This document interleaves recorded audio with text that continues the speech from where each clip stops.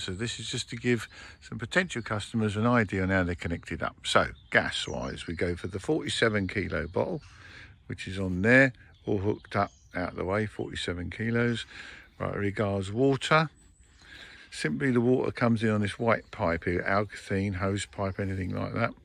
And that goes into this connection here, city water.